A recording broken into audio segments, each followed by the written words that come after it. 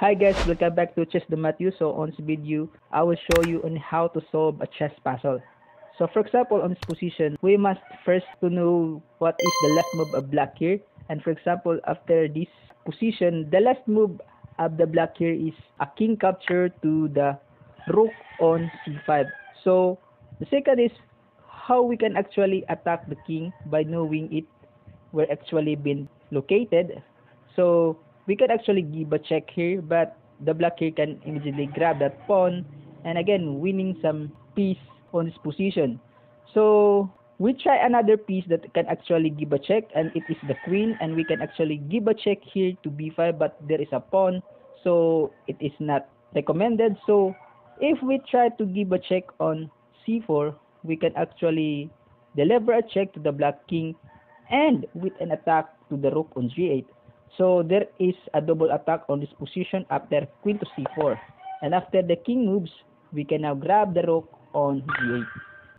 So the puzzle was solved. So another, we shall see in this position that the last move of the white here was actually a capture on the e4 with rook takes bishop to e4.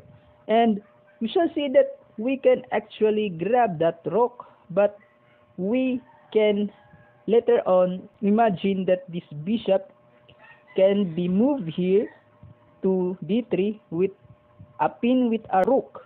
And later on he can manage to win a rook here and the game also for example. But we grab that rook and the white here pinned a rook with his bishop. We cannot actually afford to move our king here because we will lose a rook here and the white here will maintain an extra piece.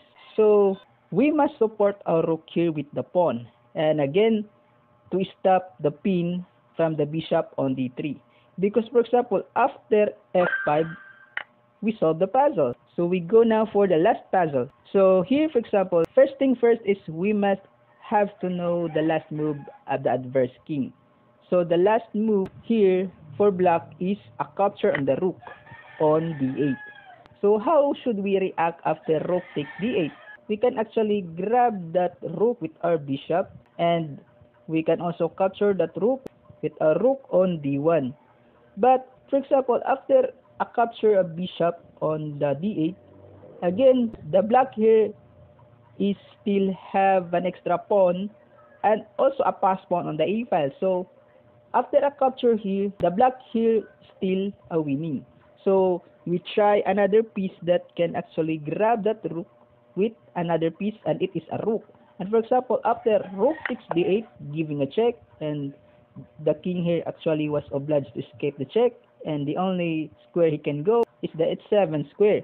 But after that, our two bishop was actually controlling this flight square with h5 bishop on g6 and f7 for example this bishop on g7 and h8 and again on this position we can actually grab this bishop but after bishop takes c3 rook takes c3 is still the black here is winning with an extra pawn on a file and later on he can manage to grab this pawn on c2 and after bishop takes c3 the white here is actually losing. So we will find another way that can actually win this position. And it is all about attacking the king. So by attacking some piece on this position is actually not favorable for white.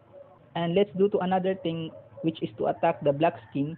And we shall see that the king was actually positioned on the at 7. So how we should give a check here or attack the king? there are two things that we can do and it's all about giving a check on g6 but the black king here can actually grab that bishop and manage to win with extra piece so this bishop on g6 was actually unavailable. So we try another piece that can actually give a check.